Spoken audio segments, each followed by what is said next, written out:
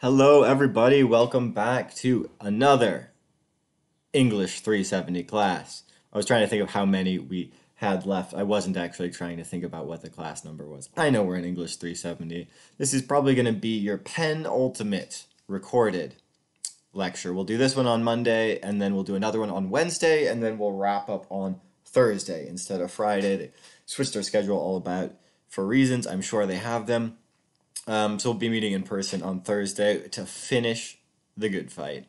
Um, as for what we're going to be talking about, we took a we took a vote on Friday. If you weren't there in our in-person synchronous classes, I put a straw poll up for English 370 classes and let you vote on our remaining topics, and we had a split decision. But nonetheless, it gave me pretty good direction. In my first class, uh, I teach two two uh, sections of 370. In the first section, linguistic relativity won the day. So that's what we're going to try and talk about today. And then in my second class, psycholinguistics was the heavy favorite. Psycholinguistics. So um, ideally, we'll get to that on Wednesday. Now, it is true that I usually like to take a bit longer with these topics. Normally, I would um, spread them out in each into two sessions. Am I recording? Good. But we're going to see we're going to be ambitious here in English 370 and see if we can get the main ideas of each of these subtopics, each in a single classroom. So I may go fast at some points. You say may just see me like skipping slides, like blah, blah, blah. I don't want to talk about that. Uh, it's not that I don't want to talk about that, so we don't have time. And with that, why am I wasting time? Let's get into it. So as your preamble here, what we're going to look at is we're going to note that we've already been looking at variation within a language for the past week and a half ish when we were looking at sociolinguistics. Oh, I need to get over here. One second. Sociolinguistics and with the dialectology, those little quizzes that we did. Yeah, that's it, variation within a language. All of us as English speakers use language differently, and that can have important linguistic meaning.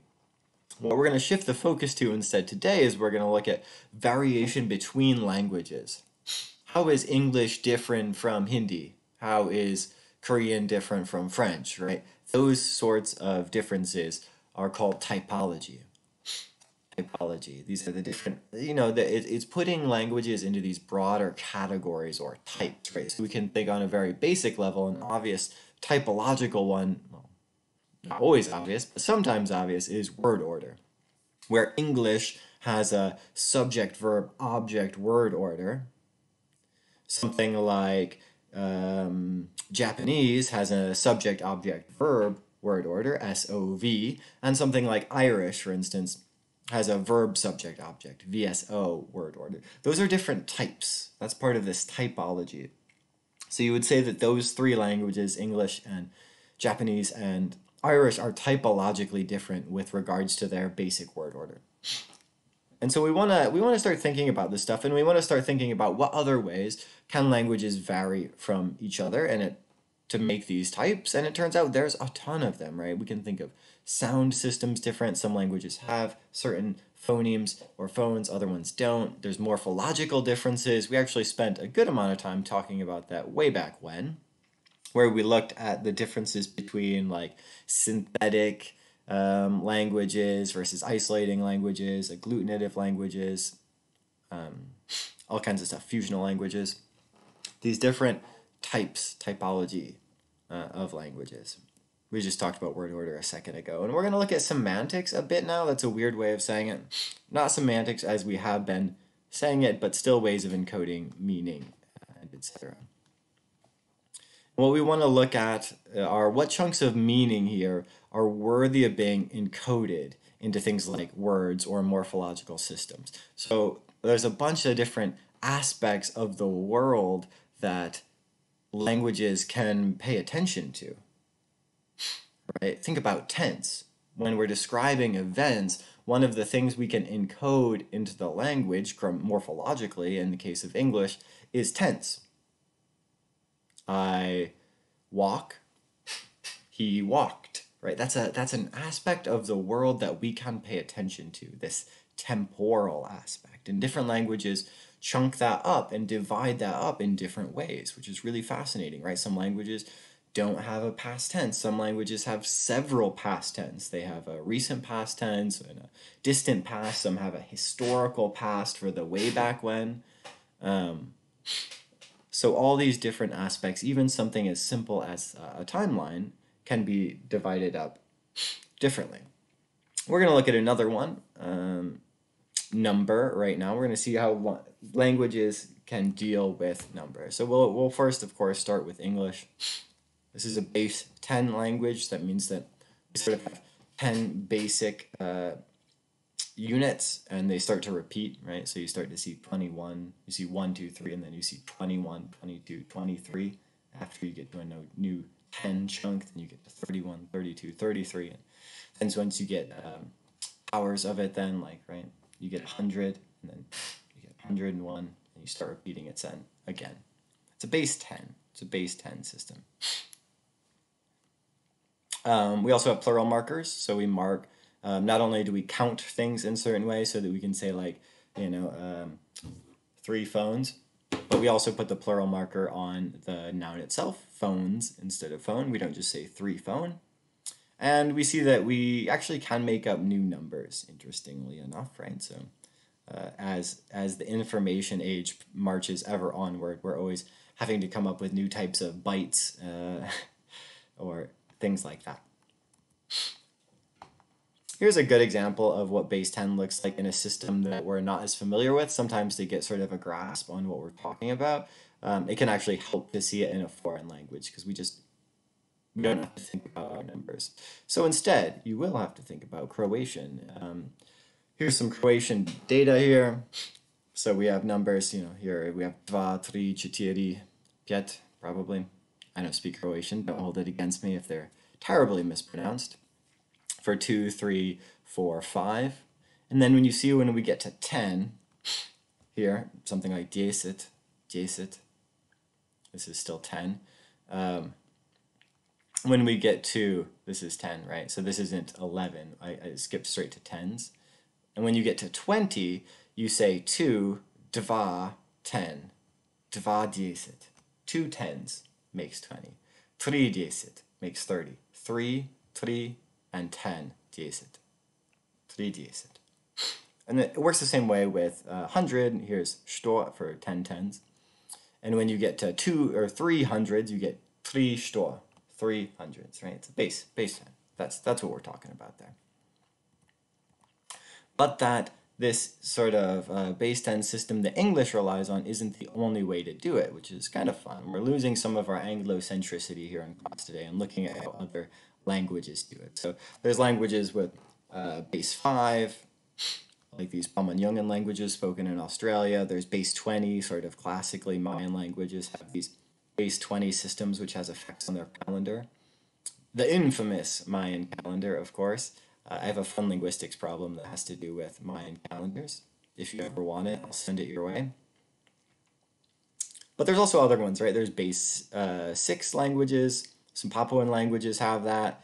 So this is kind of cool to imagine what a base 6 uh, language would be like here is the word for six. So you can kind of like, in order to get a grasp on this, you can think of this as their 10, and it doesn't mean 10, right? If we're talking about how many objects. So to say six, you say nimbo, and they have a separate word. So to say like um, 12, they would say like two nimbos. 18 would be three nimbos. And once you get up to six sixes, six sixes, six to the second power here, 36, it has its own uh, word. So then you get to fate, fate. And if you wanted something like 72, you would say then like two fates. And it keeps going up, right? So that they have a very specific number. We, the, the, the word we just means 46,656 because that's, of course, 6 to the 6th power. Who didn't know that? Sure you guys all knew that already without calculators. Uh, right that's cool. That is like our you know 10 to the 10th power or whatever whatever the word for that is in english. Again we're just the the reason just to set our sights on why we're talking about this outside of the fact that it's just cool is that languages are choosing to break up the world into different chunks right objects into sets of 10 or sets of 6 or whatever or if you're Oksapmin, uh, another language spoken in Papua New Guinea, you can have a base 27 system. pretty sweet. So they have a set word again for 57, and in order to say 52, you would just say two 27s, whatever that is. Chico or something like that. I forget. Keep, keep one. Anyway, uh, what's kind of fun, I posted a video here as well. You should watch this on your own time. You can even pause the video and watch it. It's a, it's a really endearing video of um, a woman who speaks this language and she's counting to 27. And what you see is that this base 27 system is um, associated with the body very explicitly in this language so that um, when she counts, she has different points. So she goes one, two, three, four, five, six, seven, eight, nine, 10, 11, and then up and around the face, and then back down this arm to get to 27. You can think of this as like, well, English is a base 10 system. Is that because of our fingers? Like, like maybe. I don't know. Why isn't that? That's not a good. Um, is that historically accurate? I have not the faintest idea. Is that a good argument for why uh, base 10 is natural more natural than other base X systems? No, of course not. Because even if we want to base it on something like our bodies, like, ooh, 10 fingers, we could say, like, well, why isn't it base 20? We also have toes. Or, or we could take a cue from Oksapmin and say, why isn't it base 27? There's pretty, 27 nice, distinct, you know, elbows pretty distinct, shoulders pretty distinct. There's 27 points in our upper body. So you can chunk it in different ways. The language can break things up in a bunch of different ways. Okay, anyway, watch that video, it's sweet. so we have all these different um, number systems. I want to bring up one more number. Well, okay, that's not true. I'm going to bring up a couple more number systems. But another way that languages deal with number, right? Some not all languages are quite so numerically focused as English is. Um, so here's a video that I have also posted of a speaker of the Warlpiri language in Australia, sort of north central Australia. Watch this, if you will. Again, feel free to pause and watch it now. And what you'll see is this man is asked several questions um, to which he responds in Warlpiri. I forget if he's actually asked in Warlpiri or not. And they ask him, you know, uh, I forget what how many asked. Uh, what what do they ask him? How many wives do you have? And he says one, something else, something like that. At least it may not be. And then they ask him how many children he has, and he says many. And what it's easy to it's easy to jump to conclusions here and kind of like poke fun and laugh like ah he doesn't know how many children he has he just says many well that's that's obviously not the case. And if you watch this video, it becomes very clear that this is also not the case. He knows how many children he has, right? Of course he knows how many children he has. And you can see this because he marks them in the sand. One, two, three. But he doesn't say three, he says many, because that's what his language has words for. Um, so we don't want to, uh, what I'm, what, the reason I'm talking about this and spending a little more time on numbers than I'd like is that what we see happening here is that just because a language doesn't have words for something, right? This this Warlpiri language doesn't have a word for three. It doesn't have these numerical words like English does. It doesn't limit the cognition of the speakers, right? It is not as though just because it doesn't have a number for three, this man in the video doesn't know how many children he has, or that he doesn't know the difference between the many of how many children he has and the many of how many people there are in the world. Like, obviously, he knows those differences. The language just doesn't have um, a simple way of expressing those. He can express those. In this case, he does so very uh, succinctly by drawing in the sand. One, two, three. So we're already starting to see um, these questions of the language you speak and the way that you think right? That's going to be our core topic in just a, in a, in a, in a bit. We're going to talk about that. Does the language that you speak affect the way that you think? It's a really cool question, and already I want you to be thinking about this as we go through and look at some of these typological examples of ways that languages are different.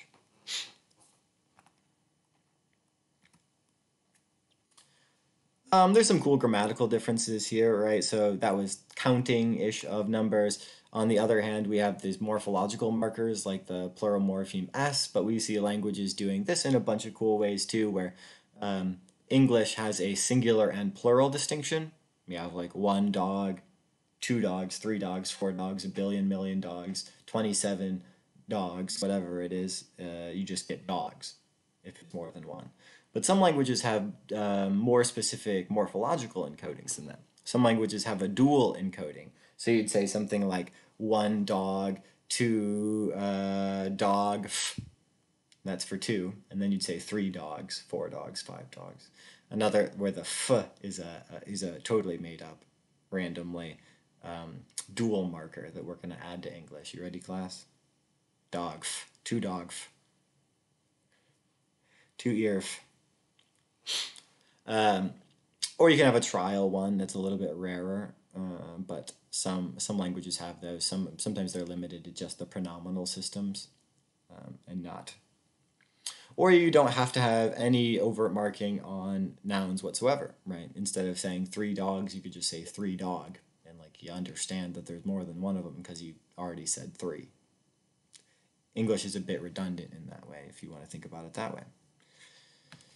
Anyway, cool. There's also other uh, sort of interesting counting mechanisms in language. I talk about. I'm going to talk about this one. This is a, a an element of Mayan called classifiers. It's not unique to Mayan. Um, other languages also have different sorts of classifiers. I think Chinese has some classifiers, although I'm not certain they work in this exact same way. And what you have here is is really interesting. It's fascinating. Look at look at this data presented to you from Tzotzil. So I've given you the word for humans, uh, which is vol. I've given you the word for for chanib. Here's chanib. Um, here's the word for man is vinik. The man being li vinik. This is the determiner li. And so in order to say for men, you might think that you say something like chanib for vinik man for man for man but you don't you don't say that you don't say this you don't say for man instead what you have to say in this language is you have to say chanvo vo vinik chanvo vinik again i don't speak mayan and I'm, i can't say i'm trying particularly hard to, to pronounce this correctly. You'll get the idea regardless. Chanvo vinik and so what they did, what this means is for, it's the root for four here, chan, plus this little um, classifier, which means humans. So it's like for humans, men. So if you wanted to say um, six women, you would still use this vo. This is for people, right? It's for humans, not necessarily just for men.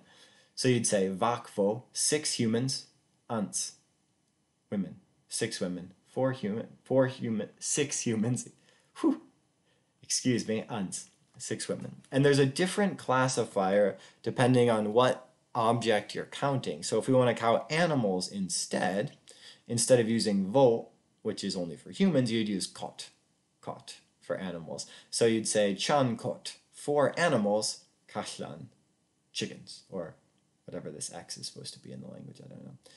Chan kot kashlan, for animals, chickens. Vak beige, na. Vak beige, na. Six round squattish things, and yes, also their houses. Right? So you have to attach the appropriate classifier to in order to be able to count these things. And you use different classifiers for different um, for different sorts of objects, whether they're humans, animals, round squattish things, different shapes get different classifiers. Um, sometimes different materials get different classifiers, etc.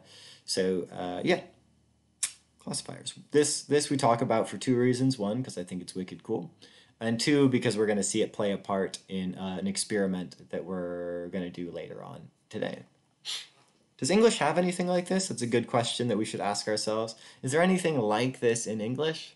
This classifier as well? Sometimes. Sometimes when we look at things that are mass nouns, so that we don't, um, yeah, they're mass nouns like water or something like that. We often have to put a quantifier with them, a classifier to quantify them, excuse me.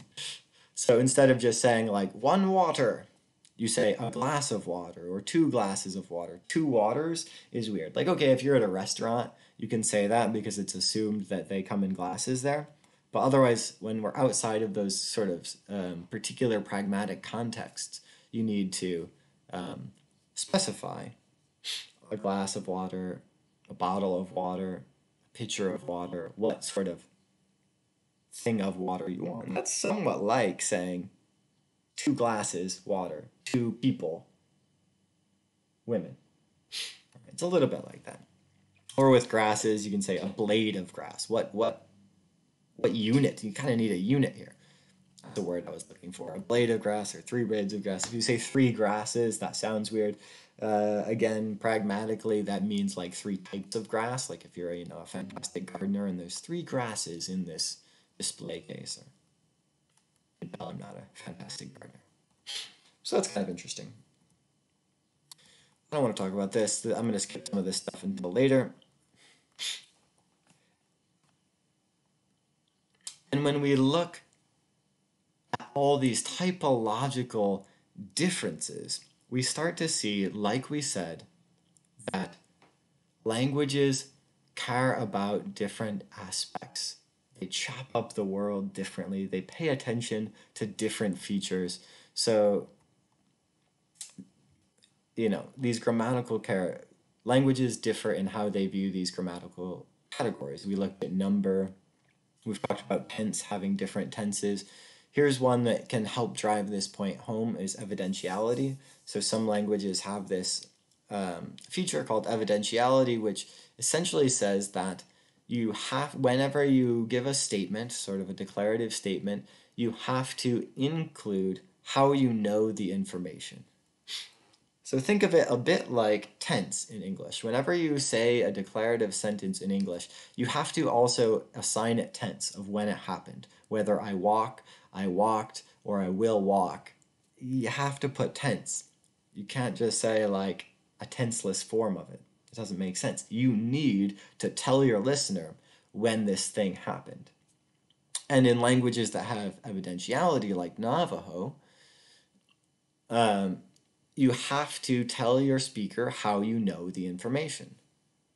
So if I say that, um, if I say uh, John won the race, John won the race, I would have to in Navajo include how I know that information. I could either say, John won the race, and I know that because I saw him win it with my own eyes. I was there. I have direct access to that knowledge that John won the race.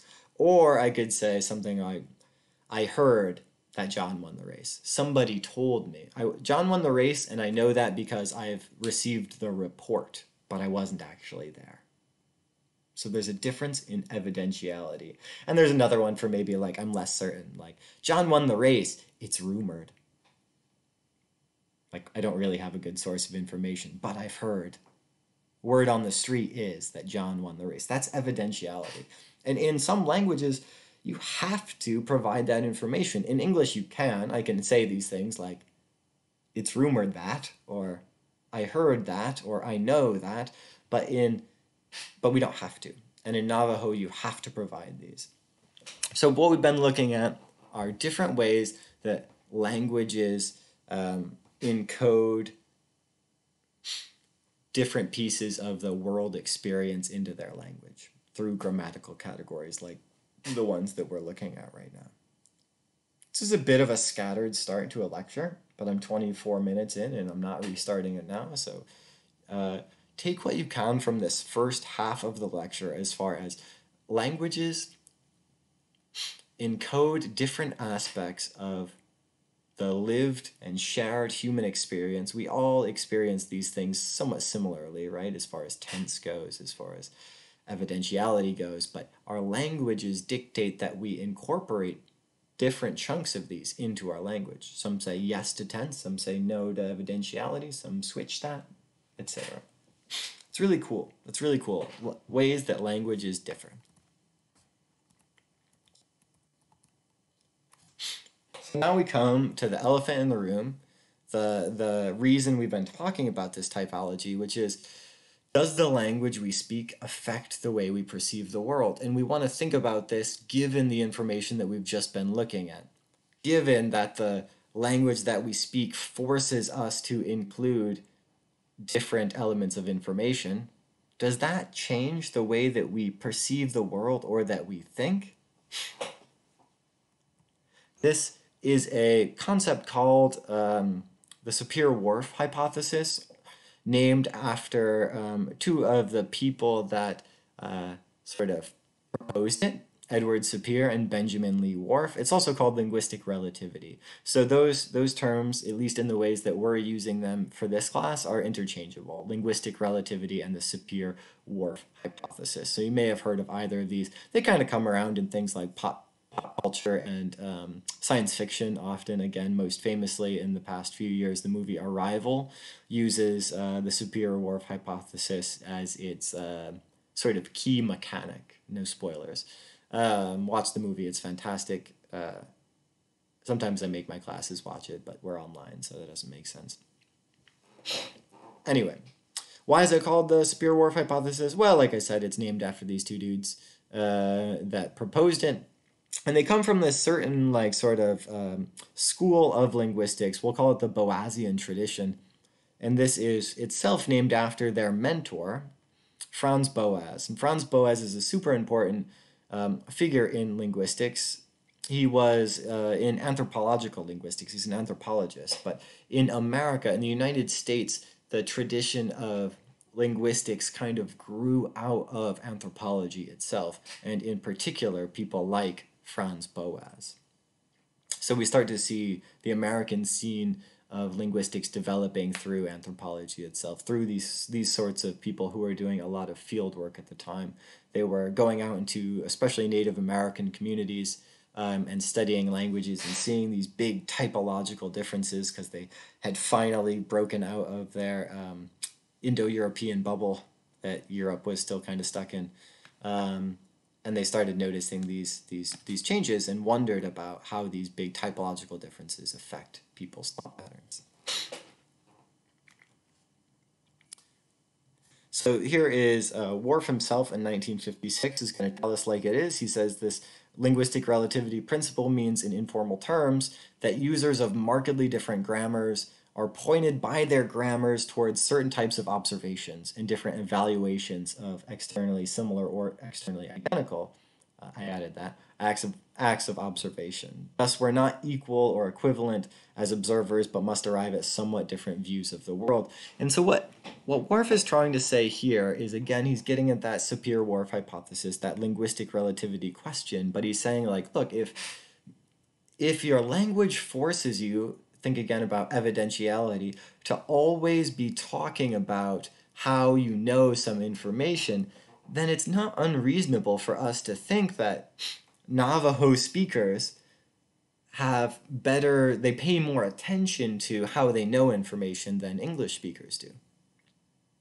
Right? So if me and a Navajo speaker view the same sort of experience, we might be paying attention to different aspects of the exact, the self same um, experience because it's needed for our language.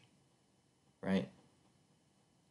We might be paying attention to numbers differently or paying attention to um, tense and time and space and matter and these sorts of things differently depending on what we'll later need to tell the story perhaps. That's that's one sort of baseline viewpoint of the Sapir-Whorf hypothesis which i think makes a lot of sense at a, at a basic level. We'll, we'll probe at this as we go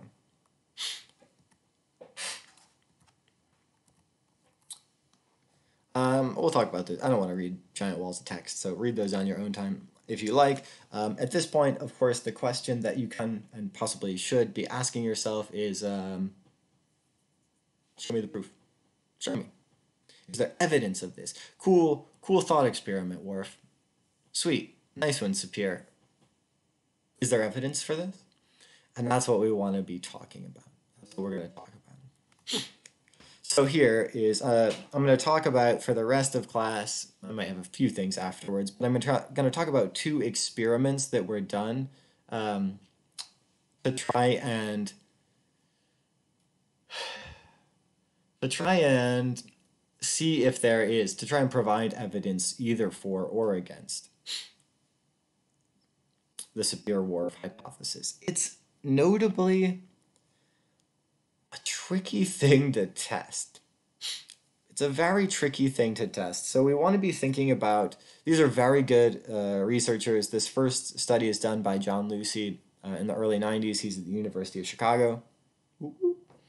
Um, very good researchers, but we do want to be critical of their methodology. Not critical. We want to be. We want to pay close attention to their methodology to see how they're getting at this because it's a weird, tricky question. How do we know how people think anyway? Right? Because what we want to see is if people, the language people speak, affects the way that they think. But you never really know what anybody's thinking. So what do we do instead? The next best thing what we'll want to see, as John Lucy will show us in this experiment, is what we can use as sort of a proxy for this is we'll see if speakers of different languages behave differently systematically. And we'll try and connect these differences in behavior with differences in language that they speak. So we'll say, look, these two two groups of speakers who speak different languages perform this task differently.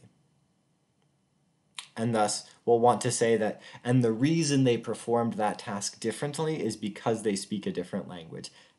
That's the jump that can be hard, right? Because we're not, we're not sure whether the reason they performed that task differently is because they speak a different language or because it's just generally or they just did it for some other reason. There might be confounding factors there, like culture. Not because they come from, they speak a, a, a, language natively, but because they're embedded in a certain culture. It's really hard to tease that apart. Hopefully, that will make some more sense after um, we look at this first experiment. Sweet. So we already looked at um, I already primed your pump by telling you about classifiers. So this is, we're going to look at a difference where the two groups of speakers, again, we're going to take two groups of speakers and we're going to assign them a task and see how they perform differently. Um, English speakers and Yucatec Mayan speakers. Uh, Mayan, as we noted, in a different Mayan language has classifiers. So does Yucatec. So here in Yucatec, numerals must be accompanied by a numeral classifier, and they provide that extra bit of information that you need for counting, right? So here is um, an example from Yucatec on Kib, uh, one long, thin wax, where this tzit means long, thin, and kib is wax. I think that's how that breaks down. Anyway, they have to specify these things. So, okay. I'm going to show you the experiment on the next slide, but you have to promise me, promise me, that you won't read the text. All right. Only have eyes for pictures. No reading text because I didn't split them apart. I realized too late. Um, so only look at the pictures on the following page. What you're going to see is three objects. You're going to see three objects on the next slide. And what I want you to do, class, oh class, my class, is to put these three objects into two groups.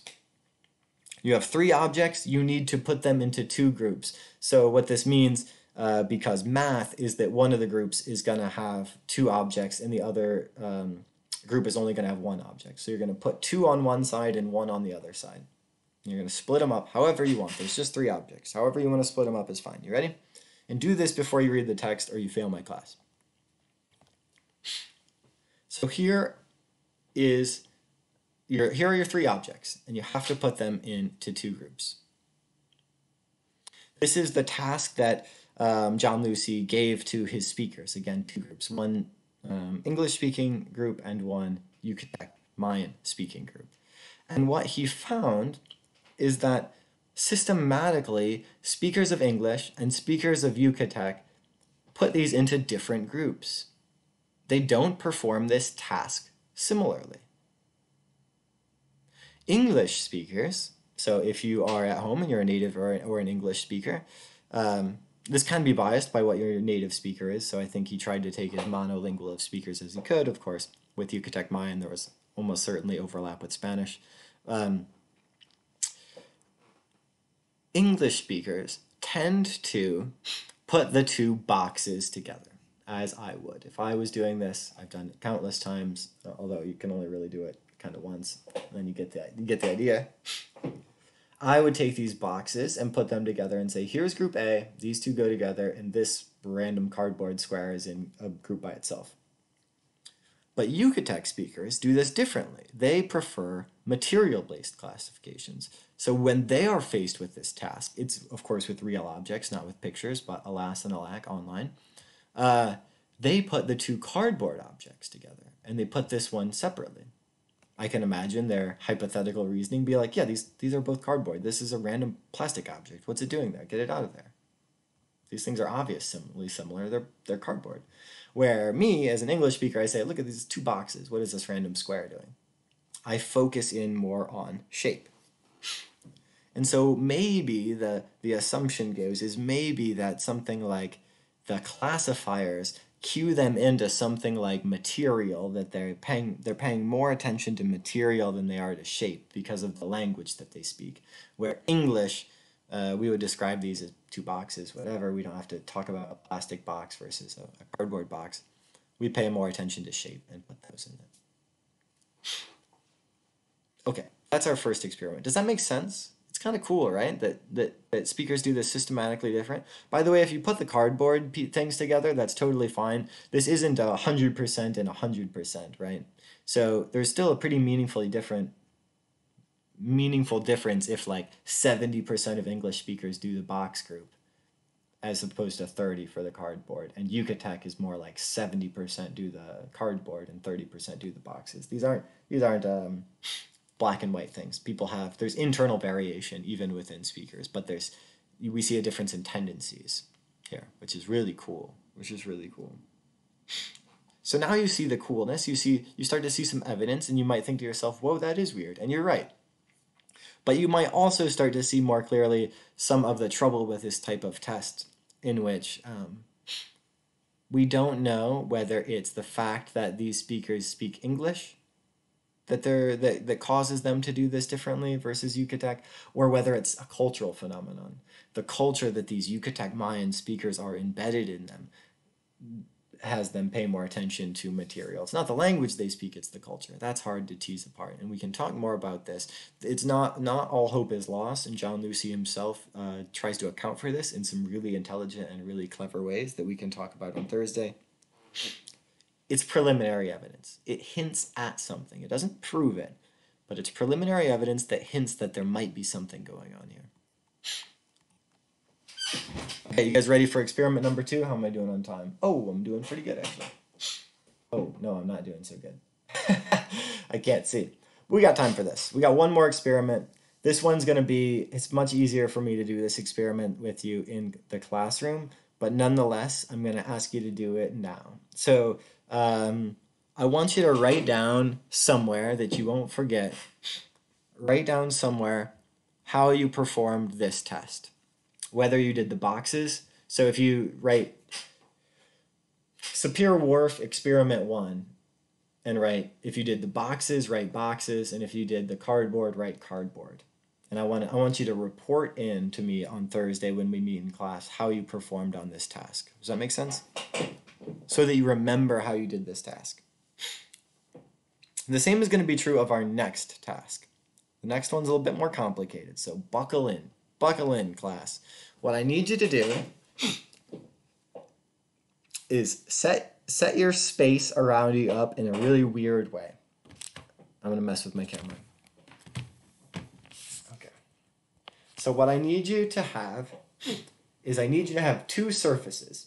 I need you to have a surface in front of you, a flat surface with a reasonable amount of space. And I need you to have a surface behind you. Note my uh, the back of my chair here, holding my objects. So one surface in front of you, one surface behind you. If you uh, you can always just do this on the floor. If you sit on the floor, you'll have a surface in front of you and a surface behind you. And next, what I need you to have are three objects. Here we go. Here we go. Three objects. So we have our. I'm gonna. My head's gonna be out of the screen. You'll forgive me. We have our three lovely models today. We have our otter, our platypus. This is a platypus. Hello. And this is our hedgehog on the end. So your objects need to be not symmetrical, right? They need to have like distinct features. So you can't use like a phone because it's like a little too symmetrical. They need to have like fronts and backs and tops and bottoms and sides and sides and stuff like that. So stuffed animals work really well for this. Um, it's actually a little bit challenging to um, find not symmetrical objects. Books work fine for this too. If you have books near you, you can use books, whatever. So I'll pause and set up your space in front of you, behind you. Okay, if you want, you can just watch me do it, but it'll be really lame. It's better if you participate. This is a hands on kind of YouTube video. Okay, so now arrange your objects in front of you. Here are my objects are arranged. And what you're going to do now is you're going to take a picture of these objects. I'm going to do it myself, right? Here's my phone. Take your first picture of your objects. Yeah, how's this? See? Objects. Now, now what you're going to do is you're going to look, observe the scene in front of you, and you're going to recreate this scene on the surface behind you. You're going to recreate this exact scene on the surface behind you. Go. I'm going to do it too.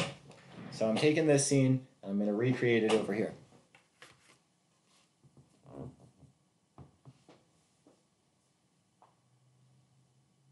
Can you see my friends? Oh, you can see my friends.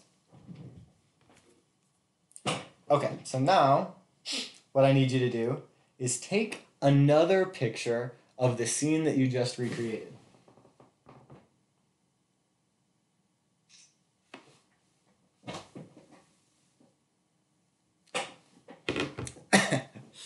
Okay, you got it? Did you do it? I'm gonna, I'm gonna uh, look at me now. Now I want you to look at your two pictures. Look at the two pictures on your phone. So here's my first picture of my little dudes.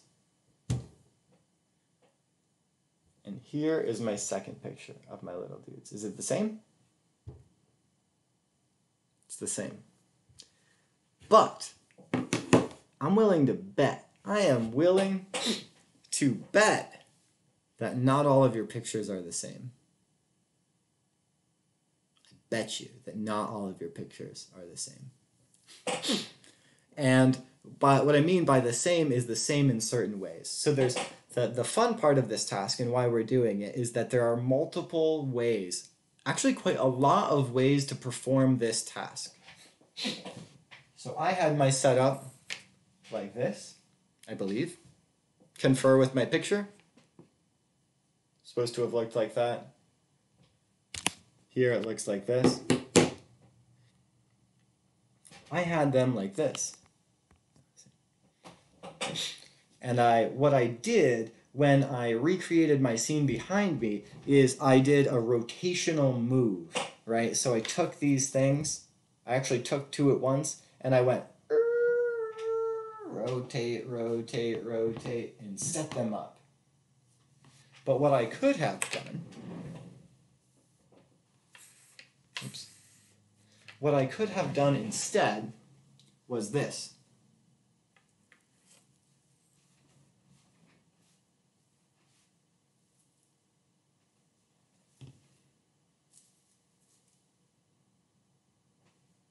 And now, hold on. And that's, do we see how that's different? Maybe your pictures aren't different. Maybe I lied about that part. But sometimes they are, depending on how you do them. So here, it's a difference between a rotation, where I go like this. So note their order. We're going to say that um, this all of our animals are facing the what side of the screen? This side of the screen. And if I do rotational,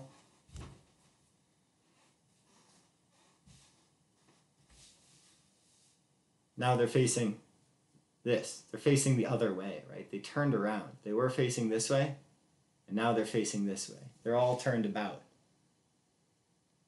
They're all turned about. But if I do the non-rotational one, if I do the just straight back and forth swapper, like this, they're facing this way. And they're still facing this way.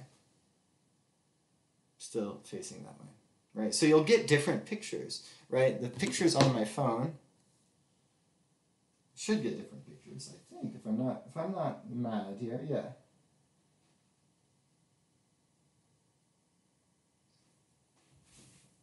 I know the pictures on my phone are, are probably not great quality. So my results either look like this or like this. Like this or like this. Okay, they're at different zooms. But you can see, most importantly, that the way that they're facing has changed depending on how you complete this task. So this was my OG. This was rotational symmetry, and this was the not rotational symmetry, I believe.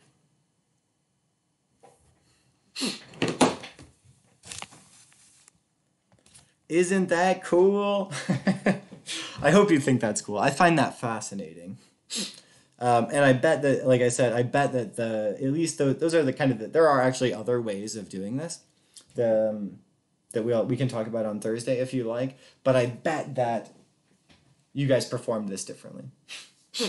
I bet that people performed this differently in our class. and what we're paying attention to is that there are what we're going to say there oh yeah, you can see my screen still good. there are three frames of reference. I should have blown myself up bigger so you could see better for that part. Well, mistakes were made.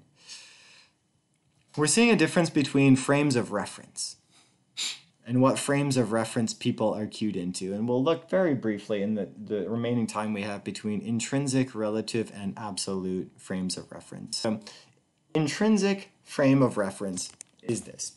We're going to see the same picture in, in these all three of these cases, and they're going to be described differently. So if we say something like, he's in front of the house, what we're paying attention to is some some object that has a front and a back and sides, and we're saying he's standing closest to the front of it, right? With our animals, that would be something like the platypus is in front of the otter, right? We're paying attention to the, the sides, the, in, the intrinsic properties of the thing itself. That's one way to describe this situation. But there's another one, right? We can also think of a relative one, a relative way of describing this, which is he's to the left of the house. He is to the left of the house. And here, what's interesting, what is happening here is that we have a, a different point of reference. We've removed what we call, what we're going to call the deictic origo, right? The, the referent point is actually neither the house nor the person, but this random observer this random third person relative observer. And this observer is saying, well, he's that a ways from the house. This is a weird uh, frame of reference. I don't mean to be judgmental, but it's a strange frame of reference because as soon as you change the origo, if the origo were on the other side, you would describe the situation differently. If the origo were over here, you would say he's to the right of the house to describe the exact same configuration. And note that this doesn't change depending on where you are. Whether you're over here or you're over here, he's still in front of the house.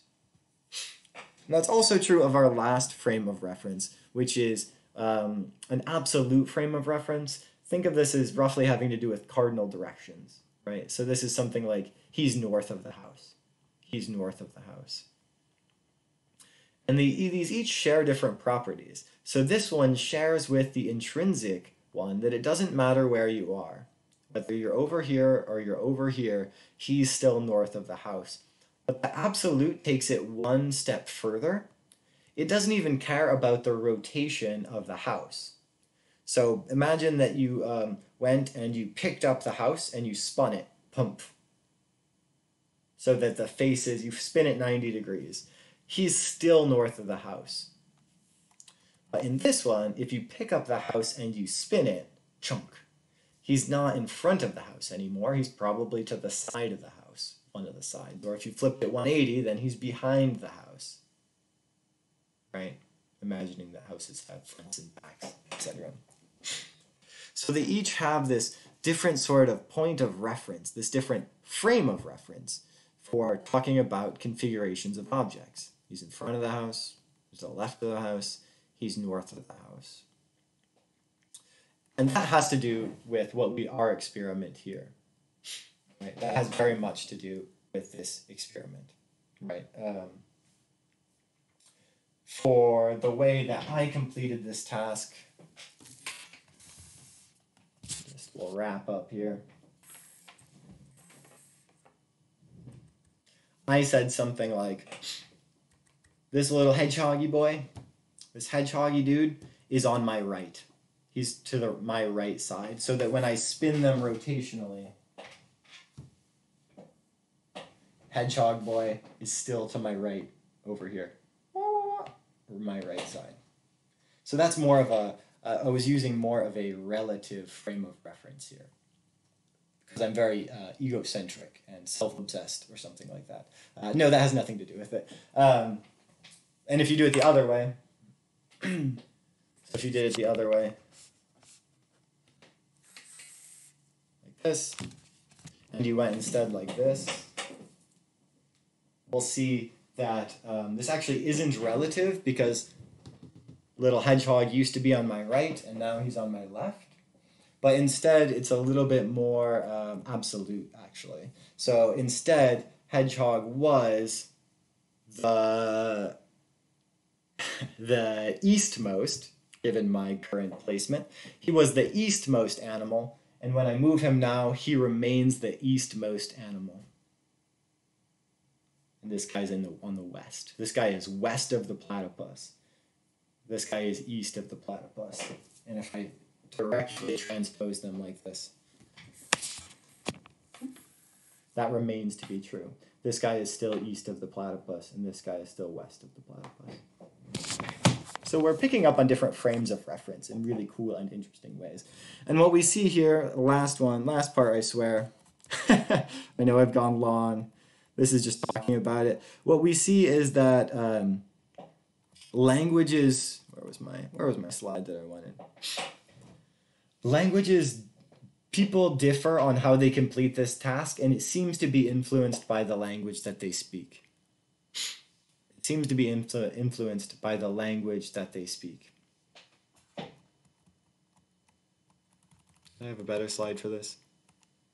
Yeah, here's here's a better slide for this. So we see that you know Japanese speakers tend to do relative, um, speakers of Austronesian and Mayan and especially Pama-Nyungan languages are really famous for this. They're really good at absolute locations. They'll, they'll talk about everything in uh, east, west, north, south. Really, really heavily depend on cardinal directions. And uh, as a result of that, they're extremely good at knowing their cardinal directions at all time.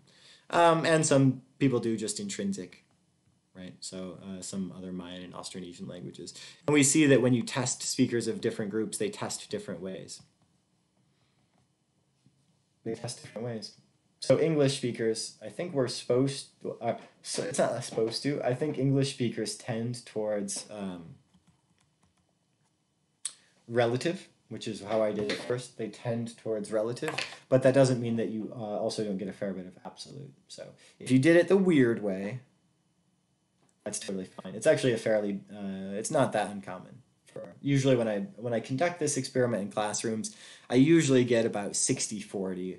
Uh, well, to be fair, usually I get about 50% of people do it relative, about 30% of people do it absolute, and the other 20% do it some uh, uh, different mixture Like, well, they're well, they're they won't pay attention to which way the animals are actually facing, and so they'll change it from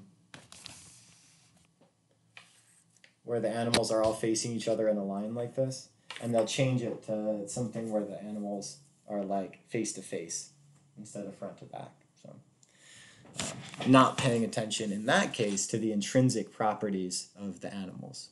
They're they're they're very anti-intrinsic. if we want to say that. So here, that's just cool. These are two really cool examples of um, evidence that the way that you speak has some effect on your behavior. And through that behavior, we hope to get a viewpoint into people's patterns of thinking. That you perform this task differently because you have a different way of thinking about it. You're paying attention to different things. So really what we're after is the the way that you the language that you speak affects the way that you think. We'll pick up on this. I'll probably spend the first 15 minutes or so of Wednesday's class talking more about this um, just to wrap up a couple things I didn't get to. And then we're going to spend the other um, portion of class talking about psycholinguistics. I'm sorry that this lecture went long. I know I'm at 56 minutes now, gasp. Um, apologies. Uh, we're trying to crunch a bunch of stuff in. So I hope you liked today's lecture. I hope you liked my friends that I brought with me today. Um, and I hope you learned something about yourself and your frame of reference, and maybe, just maybe, I started to convince you that uh, the way the language that you speak might actually have an effect on the way that you think. We'll we'll bring that up as a discussion point in Thursday on Thursday's class. In Thursday's class, Thursday's class for sure. Catch you guys later. Until next time.